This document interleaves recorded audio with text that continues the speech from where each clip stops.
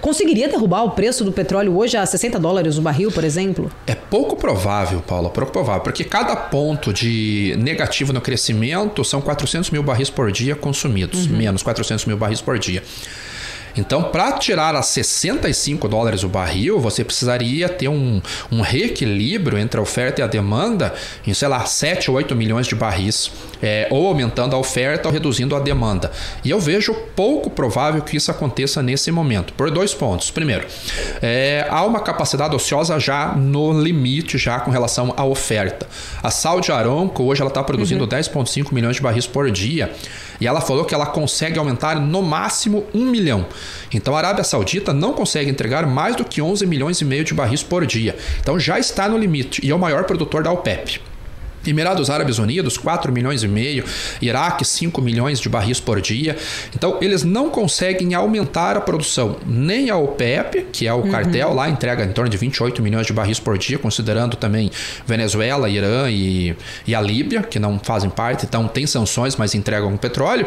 E os Estados Unidos também não conseguem aumentar. E nós não vemos nas empresas do setor de petróleo e gás CAPEX para investir em produção e refino. O refino nos Estados Unidos está em 97 17,7% da capacidade máxima. Hum. Isso é um range de mais de 10 anos de capacidade.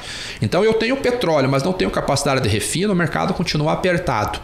Agora, 60 dólares eu acho pouco provável, mas 380 é então, é menos provável qual ainda. Qual que é a chance de ser 380 também? Então, qual que é a chance? Então os dois, as duas, os dois extremos estão totalmente errados se a gente for pensar nessa lógica. É, são, né? são extremos é, mesmo. São muito né? extremos, a palavra né? é perfeita.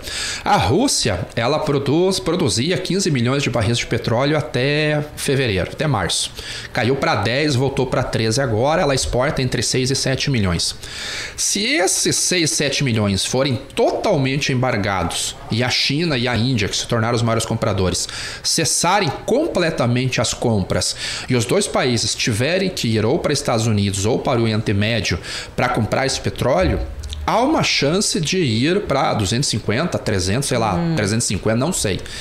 Mas qual é a chance de a Rússia parar 100% de colocar o petróleo no mercado internacional. A chance é nula, no meu ver.